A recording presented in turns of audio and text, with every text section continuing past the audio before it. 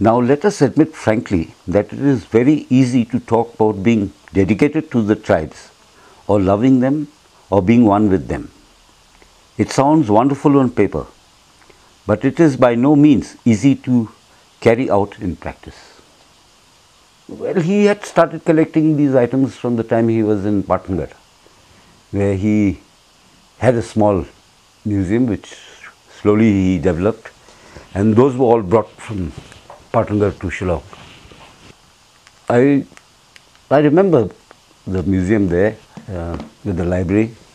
It was a big house with about 30 odd rooms and uh, two main halls were devoted to the museum and the library. Where was the house?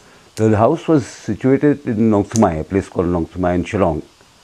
It's called the Art of the Northeast Frontier of India.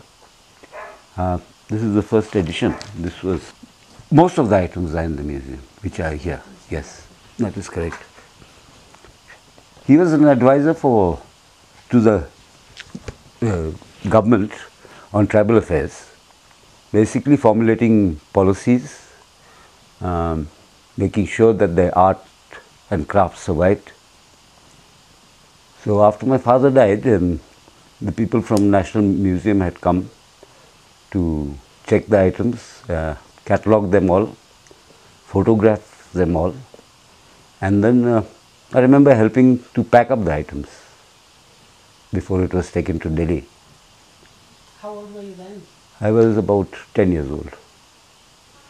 Well, I hope uh, they get a decent place to be displayed as a collection and not mixed up with other items from different collections of which should have a proper place like it had in Shillong. In fact, this was the assurance given to my mother when the museum was acquired by the National Museum that they would be put up as the El- Elwin collection. So, but I have heard that it is not so, and and uh, it's, uh, it's like Dr. Elwin has been forgotten by the museum people themselves. You know, they should take the initiative to bring the collection, display it properly, and uh, so that people can come and see the collection.